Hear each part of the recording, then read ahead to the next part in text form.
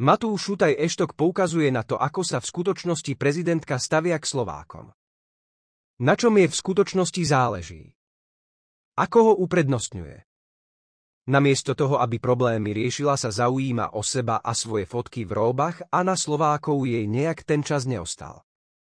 Šutaj Eštok dodáva, vlastne Slovákom odkázala, že problémy bude riešiť, keď sa vráti z Anglicka. Veď predsa z recepcie sa neodchádza.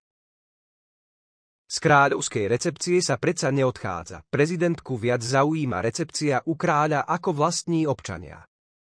Na Slovensku sa Hegerová vláda poskladala ako domček z kariet a máme tu hlbokú politickú a ústavnú krízu. Riešiť ju môže a má jeden jediný človek, prezidentka republiky.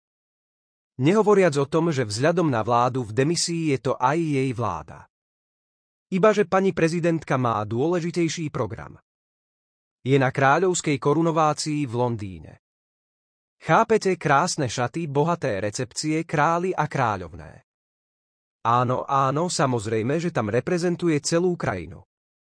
Ibaže tá krajina práve horí. Každý by pochopil, že v takejto situácii je miesto hlavy štátu doma pri jej neodkladných prezidentských povinnostiach. Pani prezidentka sa však nikam neponáľa. Veď ju dnes aj s partnerom čaká kráľovská recepcia. To bude dobrôd. Ale pani prezidentka našťastie myslí na Slovensko aj počas príprav na recepciu. A tak sa v Londýne objavila pred kamerami vo fešných šatách po boku svojho partnera. Slovákom cez obrazovky odkázala, že krízu samozrejme bude riešiť hneď ako sa vráti z korunovácie. Nechcela ľudí dlho zaťažovať politikou a takto vybavila jednou vetou. Ale inak nebola skúpa na slovo a načene porozprávala, čo všetko ju v Londýne čaká. Aké to bude reprezentatívne, dôstojné a tak. Skrátka super, tak príjemný pobyt a dobrú chuť, pani prezidentka. A keďže ste od januára robila všetko preto, aby sa predčasné voľby nekonali v júni, ale až v septembri a nechala ste odvolanú vládu naďalej drancovať Slovensko, po návrate z Londýna vás tu čaká rozvrátená krajina. V tomto prípade platí, že kto seje vietor žne búrku.